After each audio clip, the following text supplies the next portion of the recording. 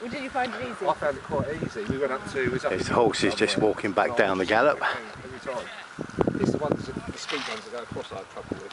'Cause They teach you to uh, shoot like that. If it goes up, and the- whatever angle the- the- Morning.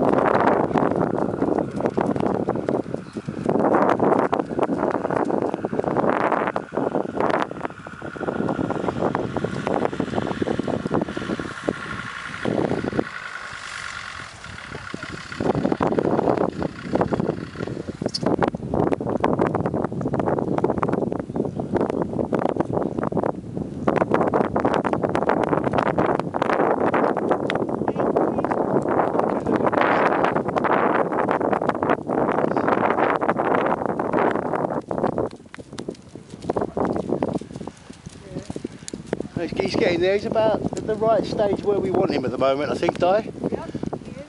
Probably on like- You know, if we're looking to run maybe just after Christmas, he's probably at the right stage. Yeah.